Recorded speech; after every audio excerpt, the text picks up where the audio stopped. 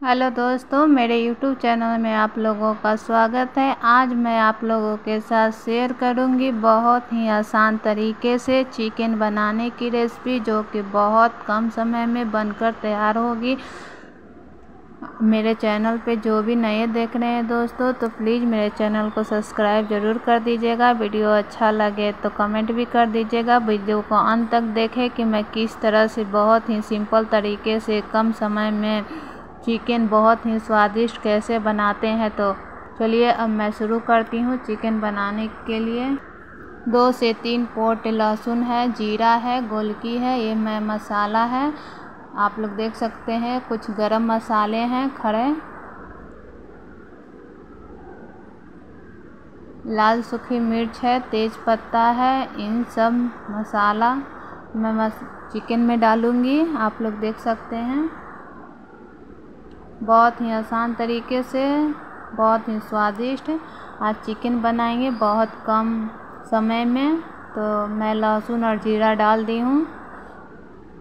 साथ में मैं डाल देती हूँ गरम मसाला को भी। खड़े जो गरम मसाला मैंने लिए थे, उसे भी डाल देती हूँ। ये मीठ मसाला है, इसे मैं बाद में डालूँगी।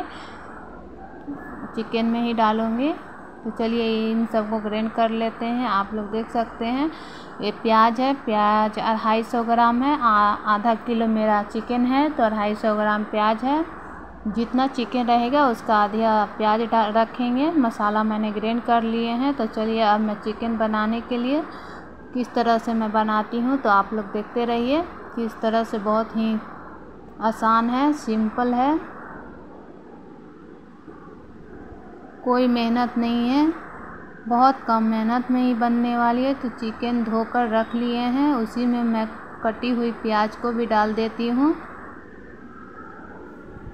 सारी बारीक कटी हुई प्याज को मैंने डाल दिए हैं। जो मसाला पीस के रखे हुए थे, वो भी मैं डाल देती हूँ। सारे मसालों को मैं डाल दूँगी। आज अलग तरीके से चिकन बना रहे हैं। भूंज कर नहीं बना रहे हैं। मैं लाल सूखी मिर्च डाल दी, तेज़ पत्ता डाल दी हूँ। एक चम्मच हल्दी पाउडर डाल दिए हैं। ये मेरा मिर्ची पाउडर और गोलकी पाउडर और धनिया पाउडर और जीरा पाउडर, इसी में मैं पिसवा ली थी पिसवा कर साथ में मिलाकर रखती हूँ। सो एक चम्मच वो भी डाल दिए हैं। स्वाद अनुसार नमक डाल देंगे। एक चम्मच नमक डाल दिए हैं।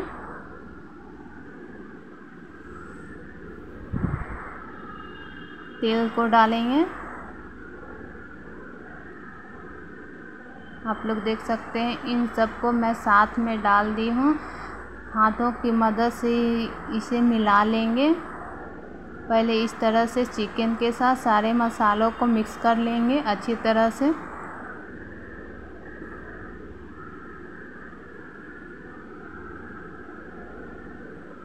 इस तरह से मिक्स करते हुए इस तरह से सारे चिकन को मैं मिला लेती हूँ। बहुत ही आसान है दोस्तों, कभी इस तरह से आप लोग भी चिकन बनाकर खाइएगा। बहुत कम समय में, कम मेहनत में। मेहनत भी ज़्यादा नहीं है, आपकी भूनने की झंझट भी नहीं रहेगी। देख सकते हैं, सारे चिकन और मसाला मैंने मिक्स कर लिए हैं। गैस को करती हूँ ऑन गैस ऑन कर दिए हैं, कढ़ाई को बैठा दिए हैं। सारे कुछ एक में ही मैंने मिला दिए हैं। कोई झंझट नहीं है, बस मिलाना है। चिकन में मैं मिला दी हूँ, इसे ढक कर रख दूँगी। नमक भी डाल दिए हैं, इसलिए इसमें पानी छोड़ेगी। तो पानी इसमें नहीं डालेंगे, पानी बिल्कुल भी नहीं डालेंगे। इसे छोड़ देंगे 10 से 15 मिनट बाद। चेक करेंगे 10 मिनट बाद ही। पानी देख सकते हैं। प्याज से छोड़ दी है तो इसमें पानी डालने की ज़रूरत नहीं है। इसे आप लोग देखिए। अगर लगे कि सट रही है तो पानी हल्का सा डाल सकते हैं, नहीं तो बिना पानी खुद ब खुद नमक डालने के बाद इसमें से पानी छोड़ती है। इसे इसी तरह से चलाते हुए भूनते रहेंगे।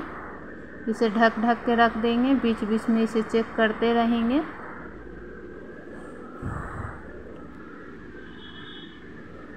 ये देखिए, मुझे पानी डालने की भी आवश्यकता नहीं पड़ी है, इसलिए मैं पानी नहीं डाली हूँ। इसे फिर से मैं ढक दूँगी। पाँच मिनट बाद इसे फिर से मैं चेक कर लूँगी, किस तरह से मेरी कहीं सट तो नहीं रही है लग तो नहीं रही है, कढ़ाई में इसे चेक करना भी ज़रूरी है। देख सकते हैं कितनी अच्छी से इसमें खुद ब खुद ग्रेवी हो गई है। बिन पानी के, पानी इसमें अब मैं ऐड करूँगी। इसे थोड़ी थोड़ी पानी डालकर अगर ज़रूरत पड़े तो भूनेंगे, नहीं ज़रूरत पड़े तो नहीं भून, डालेंगे। इसे भूनते रहेंगे। सारे मसालों को अच्छी तरह से भून लेंगे। इस तरह से चलाते हुए आप लोग देख सकते हैं।